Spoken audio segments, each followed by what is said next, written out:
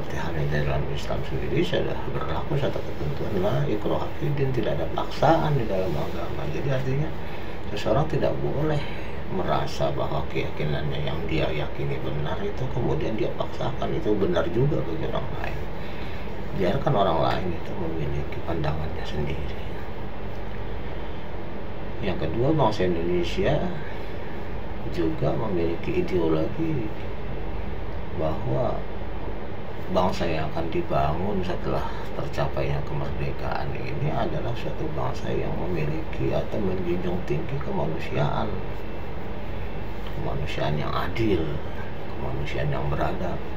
Jadi Indonesia berusaha untuk maju tapi ketika maju juga tidak akan melakukan eksploitasi kepada sesama manusia. Tidak akan melakukan penjajahan tidak akan melakukan upaya yang apa merampas harkat dan harga diri bangsa-bangsa lain sebagai manusia. Oke. Yang ketiga, kita meyakini bahwa hanya dengan bersatu maka bangsa yang sangat beragam ini bisa menjadi bangsa yang kuat. Maka sila yang ketiga dari Pancasila adalah persatuan Indonesia. Di mana persatuan ini menjadi suatu keyakinan bagi kita bahwa hal tersebut adalah unsur utama yang harus kita jaga supaya bangsa Indonesia ini bisa sama-sama membangun tidak seperti di masa pra kemerdekaan di mana masing-masing suku berdiri sendiri-sendiri dan kemudian sering menjadi alat pemecah belah ya, dari kehidupan bersama sehingga terjadilah masa penjajahan bangsa asing yang sangat panjang itu sampai ratusan tahun. Karena pada saat itu memang belum tercipta suatu rasa kesatuan belum ada rasa kebangsaan belum ada keinginan untuk memiliki jati diri yang satu. Nah, karena itulah maka integrasi merupakan suatu upaya suatu sikap suatu tekad. Suatu keinginan untuk kita bersatu. Termasuk juga dalam hal kita menghadapi upaya-upaya berupa ancaman dari pihak luar yang menginginkan penguasaan kembali kepada bangsa Indonesia yang kita kenal sangat kaya dilihat dari berbagai sumber daya alam. Jadi ini adalah faktor-faktor pendorong integrasi yang harus kita jaga termasuk juga keyakinan atau ideologi dari sila keempat Pancasila yaitu bahwa semua perbedaan itu ya, menyebabkan dalam pengambilan keputusan kita harus mengutamakan suatu musyawarah mufakat berdasarkan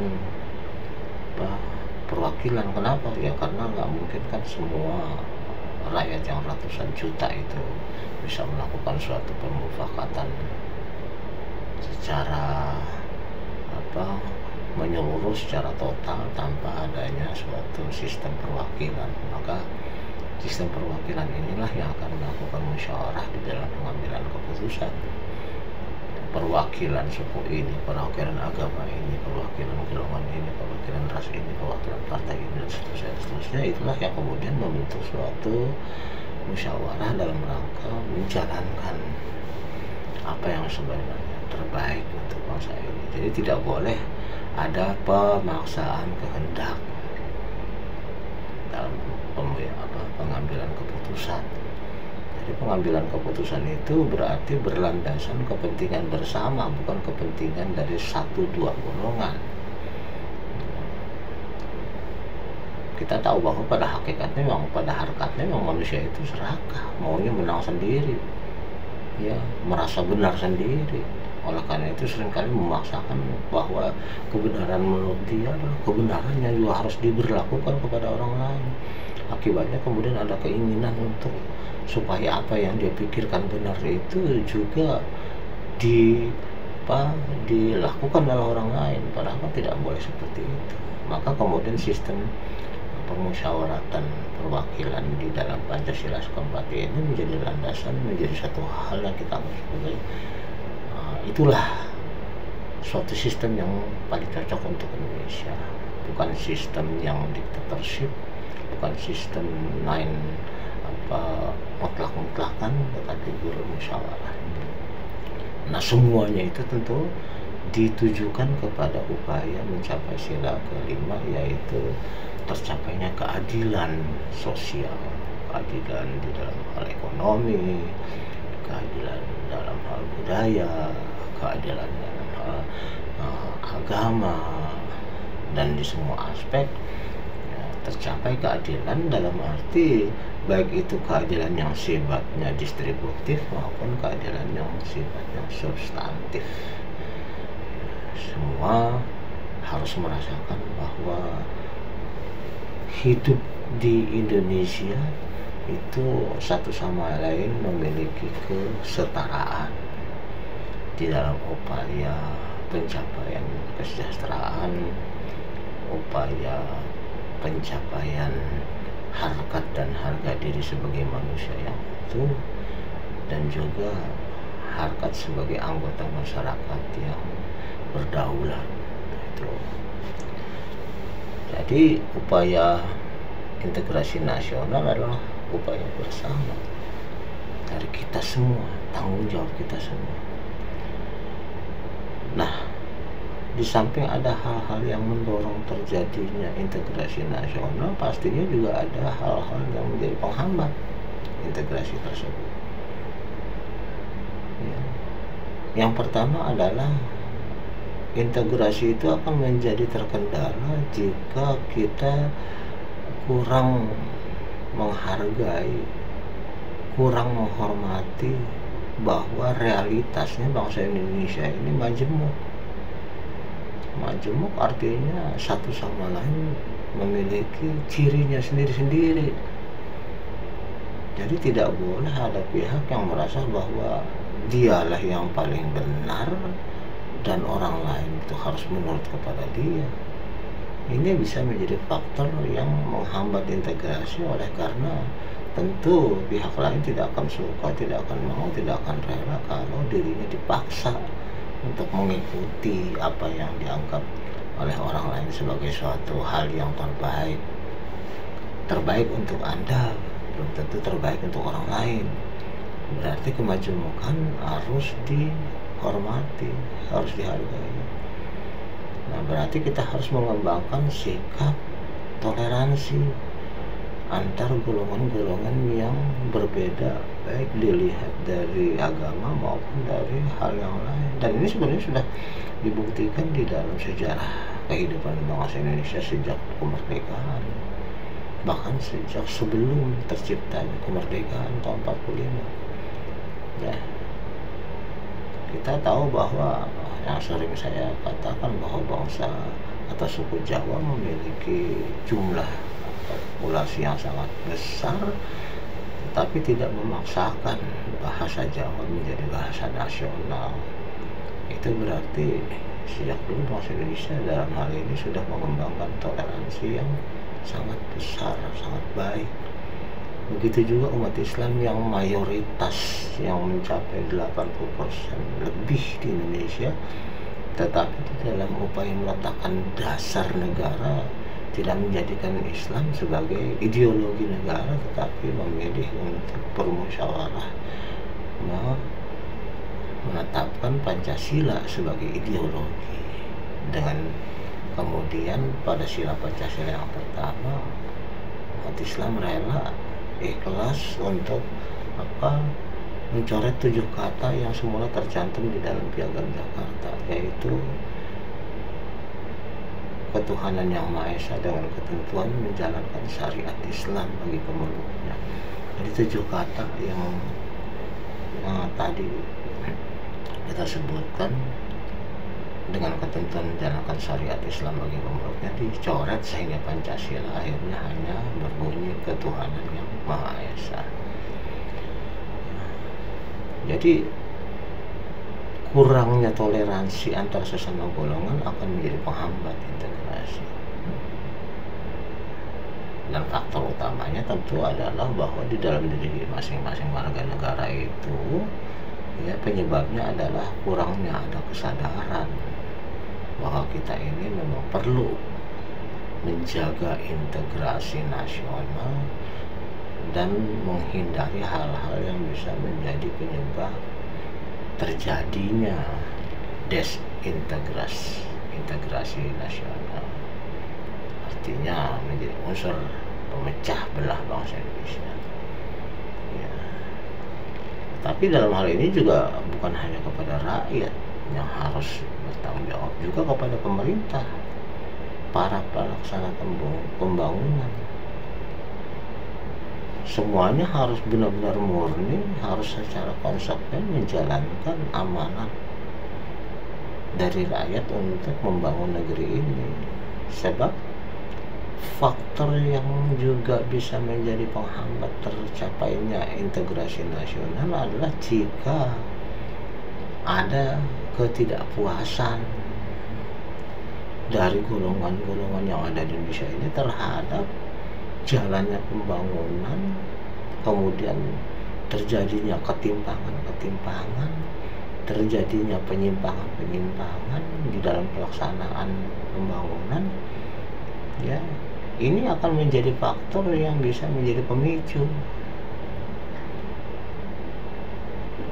Ya kalau ada rasa tidak puas terhadap jalannya pembangunan yang dianggap tidak adil yang dianggap menyimpang yang dianggap sudah tidak sesuai dengan relnya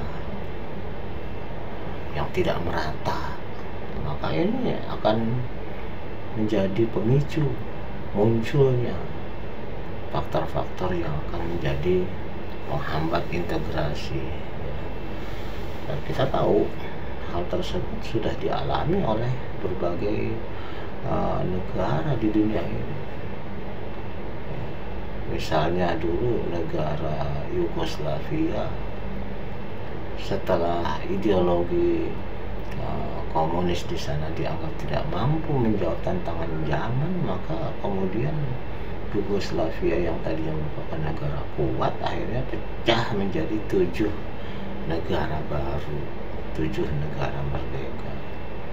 Yugoslavia itu pecah menjadi Slovenia Kroasia Bosnia Herzegovina Montenegro Makedonia Utara dan Kosovo jadi satu negara yang tadinya bernama Yugoslavia kemudian pecah menjadi tujuh negara baru. Begitu juga dengan apa eh, negara-negara uh, yang lain seperti negara Uni Soviet.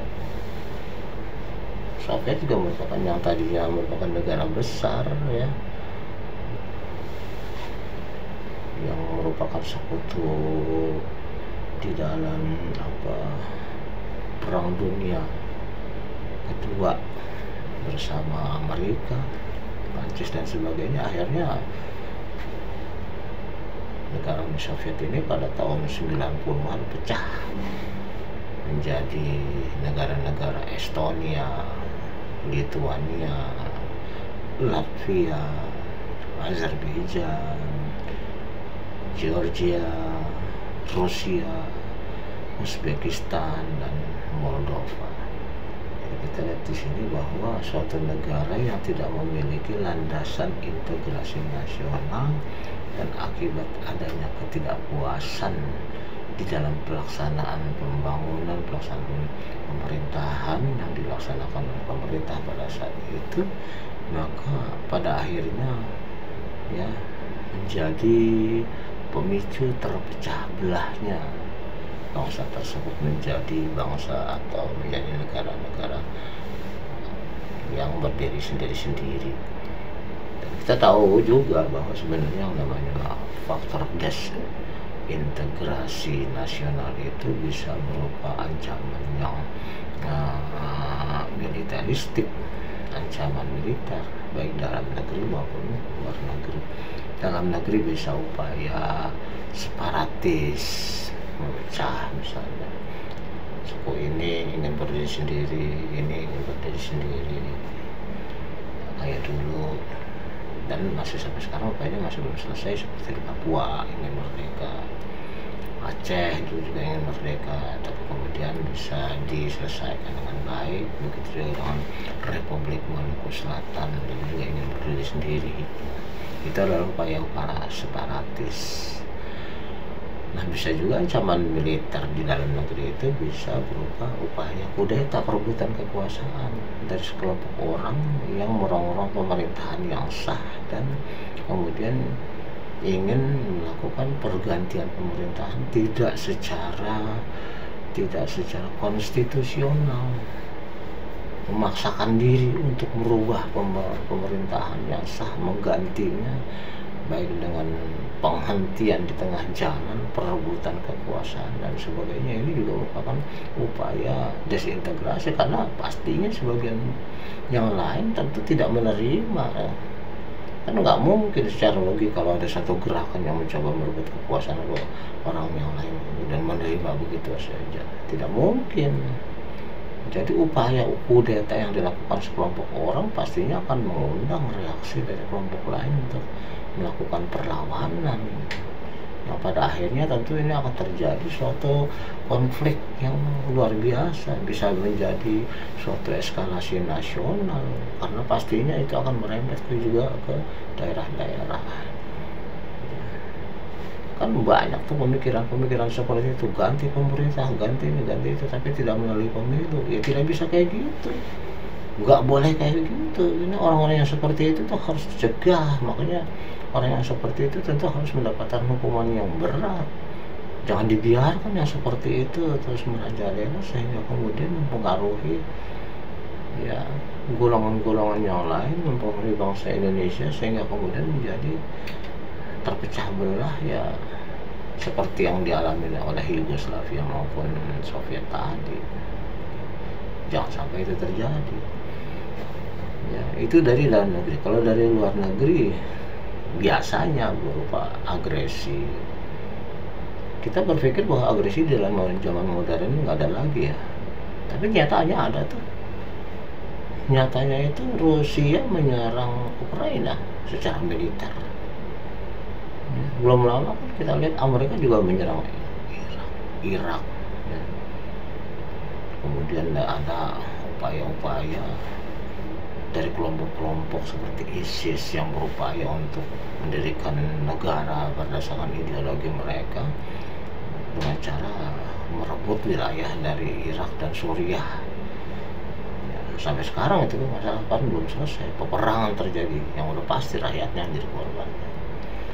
Jadi agresi militer maupun invasi pencaplokan ataupun aneksasi perebutan wilayah itu merupakan apa namanya uh, ancaman-ancaman militer yang pastinya akan menjadi uh, alat atau menjadi ancaman bagi terciptanya integrasi nasional